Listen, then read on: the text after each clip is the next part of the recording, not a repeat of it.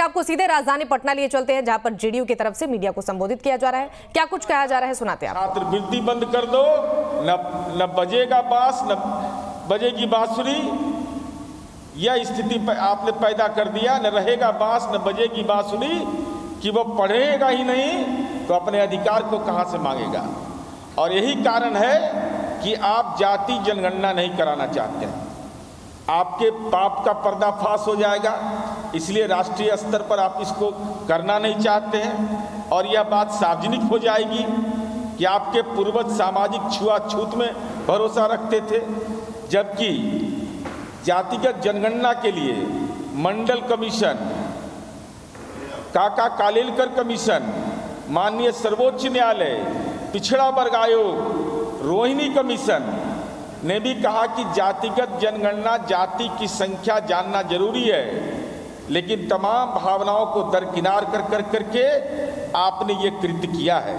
तो ये तमाम जो तथ्य हैं, हम लोग लोगों के बीच ले जाएँगे और यह भी बताएँगे कि भारतीय जनता पार्टी ने कैसे अप्रत्यक्ष रूप से जाति गणना को रोकने के लिए यहाँ से लेकर के सुप्रीम कोर्ट तक अपने बौद्धिक समर्थकों के द्वारा याचिका दाखिल करवाया।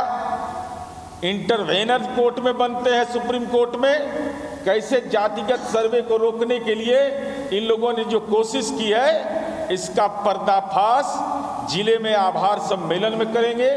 जननायक कर्पूरी ठाकुर के प्रति जो अनादर का भाव केंद्र सरकार का है, और साथ ही साथ जो पिछड़े वर्ग और अति पिछड़े वर्ग की छात्रवृत्ति जो आपने बंद कर दिया है, पीएम यशस्वी योजना के नाम पर, मैंने यशस्वी पीएम बने अपने, लेकिन पिछड़ा और अति पिछड़ा का बेटा वह यशस्वी नहीं बने।